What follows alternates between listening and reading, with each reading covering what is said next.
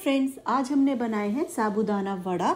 इनको आप व्रत में खा सकते हैं, किसी पार्टी में एपिटाइज़र की तरह सर्व कर सकते हैं, या शाम की चाय के साथ कभी भी इनको बना के आप खा सकते हैं। साबुदाना सोख करने की प्रोसेस साबुदाना खिचड़ी वाले वीडियो में आपको मिल जाएगी, जिसका लिंक मैं डिस्क्रिप्शन बॉक्स में डाल दूँगी। तो ये एक कप सोक्ड साबुदाना है। तीन से चार मैंने आलू ले लिए हैं, इनको बॉईल करके मैश कर लिया है। ये धनिया काट के रखा है। नमक, सेंधा नमक आप ले सकते हैं अगर व्रत के लिए बना रहे हैं। काली मिर्ची का पाउडर है। हरी मिर्ची को काट करके रख लिया है। और ये मूंगफली के आधा कप मैंने यहाँ पर लिया है। मूंगफली को या तो आप इस तरह से खलबत्ते में कूट के रख लें या चॉपर में आप मिक्सी में इसको इस तरह से दरदरा सा चॉप करके रख लें। अब हम आलू में मूंगफली को और अपनी बाकी सारी चीज़ों को मिला देंगे। अगर आप चाहें तो इसमें अदरक रेड चिली फ्लेक्स या और कोई मसाले अपनी पसंद के भी डाल सकते हैं। मैंने इसको बहुत ही सिंपल फ्लेवर्स के साथ बनाती हूँ तो बहुत ही टेस्टी ये खाने को लगते हैं। अच्छी तरह से हम सारी चीज़ों को मिक्स करेंगे और एक अच्छा सा इसका डोसा बना लेंगे ताकि सारी चीज़ें हमारी आलू और साबुदाना के साथ मिक्स हो जाए। इस तरह से देखिए, अब ये अच्छी तरह से सब कुछ मिक्स हो गया है। अब हम इसको शेप कर लेंगे। मैं तो इसके बॉल्स इस तरह से बनाकर सर्व करना पसंद करती हूँ। आप अगर दूसरी शेप में कोई टिक्की या ओवल शेप में बनाना चाहें तो आपकी मर्ज़ी है। सारे बॉल्स को हम इस तरह से बना के रख लेंगे और मैंने कढ़ाई में तेल रख दिया है ऑलरेडी गर्म होने, और हमारे सारे बॉल्स भी बन गए हैं।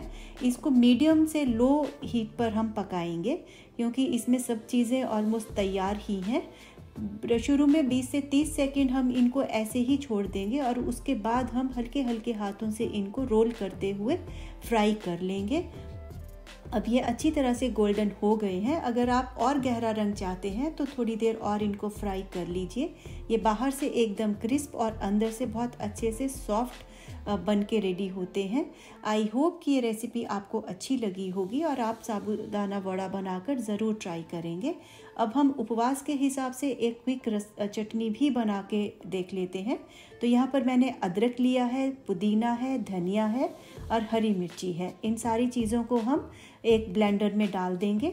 धनिए की मैंने डंठल को अलग नहीं किया है, उसमें प्रोटीन होता है और मैं उसके साथ ही चटनी को पीस देती हूँ। कोई इसकी डंडियों को अलग नहीं करती हूँ।